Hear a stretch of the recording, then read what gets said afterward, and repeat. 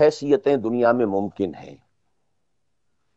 ایک انتہائی خوش بختی کی، انتہائی خوش قسمتی کی کہ ایک انسان ایک ایسے ماحول میں پیدا ہو گیا ہے۔ یا وہ ہجرت کر کے ایسے ماحول میں چلا گیا ہے جہاں ٹوٹل دین غالب ہے۔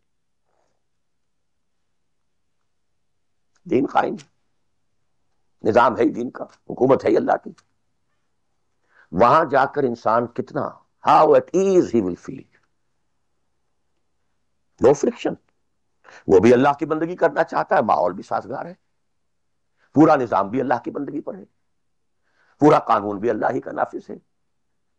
پورا تعلیم کا ڈھانچہ بھی اللہ ہی کے ہدایت کے مطابق ہے۔ تمام ذرائع ابلاغ سے بھی اسی کے مطابق چیزیں ہیں جو نشر ہو رہی ہیں۔ آڈیو ویژول سب کچھ۔ انتہائی خوش قسمتی موسٹ فارچونیٹ کہ ایک انسان ایسے باہر میں ہو۔ لیکن فرض کیجیے کہ وہ ایسے ماحول میں ہے جہاں اللہ کا دین غالب نہیں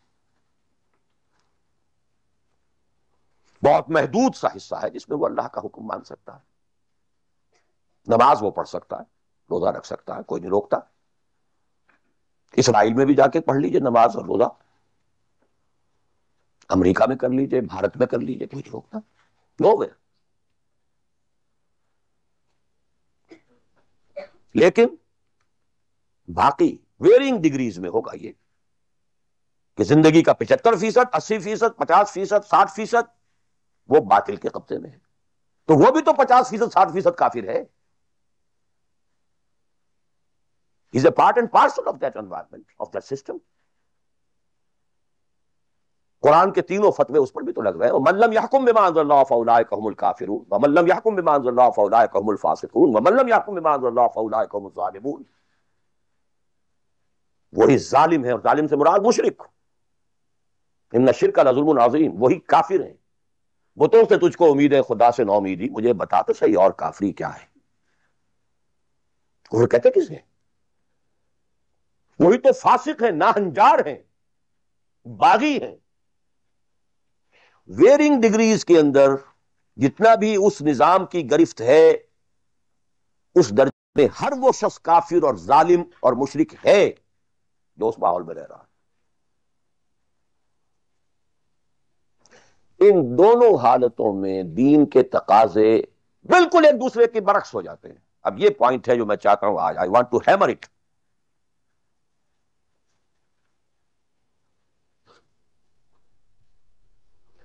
اگر آپ خلافت راستہ کے دوران پیدا ہو گئے ہوتے موسٹ فارچونیٹ موسٹ ایزی دین قائم ہے، اللہ کے احکام جاری ہیں، سارا نظام وہی ہے دی ہول اسٹیٹ کرافٹ وہ اسلام کی بنیاد پر کام کر رہا ہے، آپ ایک سٹیزن ہیں، آپ کے لیے تقرب بن نوافل کے درجے کھلے ہوئے فرض تو پورے ہیں یہاں۔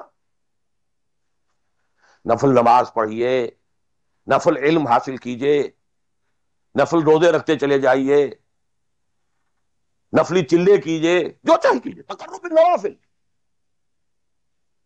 لیکن یہ تقرب نوافل کا درجہ کہاں آئے گا؟ جہاں آپ ایک اسلامی نظام کے تحت سانس لے رہے ہیں۔ جہاں وہ اسلامی نظام نہیں ہے، پہلا فرض تن من دن اس نظام کو بدلنے کے لیے لگا دینا۔ اگر یہ نہیں ہے تو نماز نماز نہیں ہے، منہ پر دے ماری جائے گی۔ میں جو کچھ کہہ رہا ہوں اللہ وجل بصیرت کہہ رہا ہوں۔ میری پوری زندگی کے مطالعے کا نچوڑ ہے۔ نماز منہ پر دے ماری جائے۔ روزے منہ پر دے مارے جائے۔ یو ریکنسائل یور سیلف تو دیٹ سسٹم جو میری بغاوت کے اوپر مبنی تھا۔ پہلا فرض یہ تن من دھن۔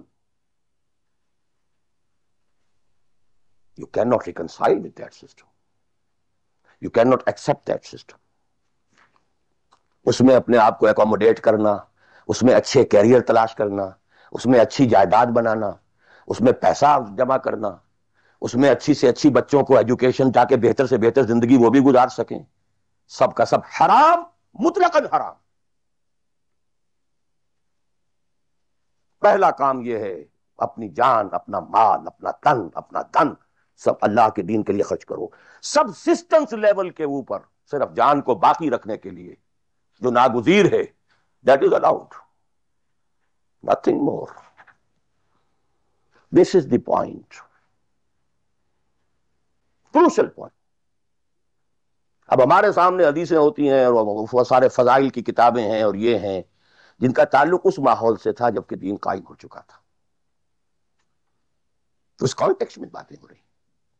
نفل کی بات ہو رہی ہے اور قیام اللیل کی بات ہو رہی ہے، اور جو ہے ختم قرآن کی بات ہو رہی ہے۔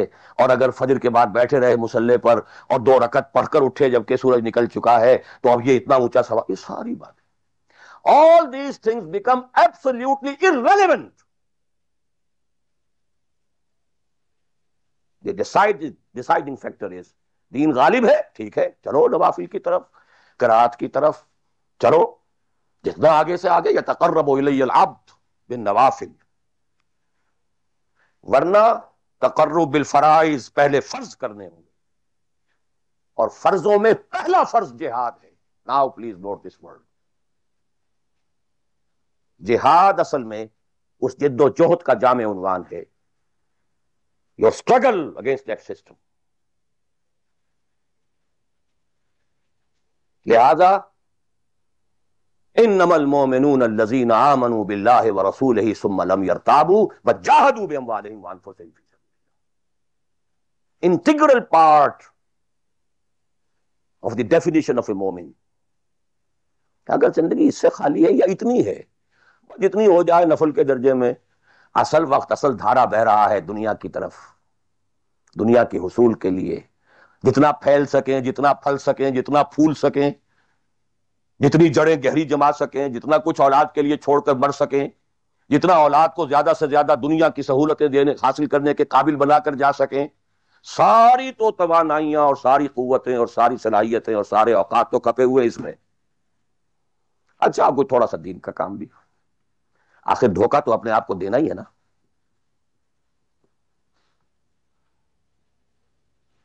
قسمت فروش عورتیں بھی تو کالے کپڑے پہن کے جلوس میں نکلتی ہیں تازیوں کے۔ اور سبیلیں لگاتی ہیں اور مسجدیں بناتی ہیں۔